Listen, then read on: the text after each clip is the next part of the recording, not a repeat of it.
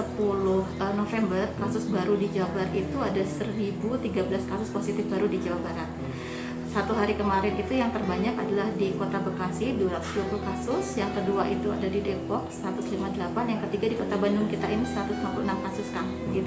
Kalau kita lihat dari satu bulan ke belakang aja Kang, tanggal 4 Oktober sampai dengan 10 November, Jabar itu ada sekitar 500 sem- eh, 15.937 kasus itu yang positif. Tapi alhamdulillah yang sembuh cukup banyak sekitar 11.200 yang sembuh. Untuk yang meninggal satu bulan terakhir ini sekitar 39 orang.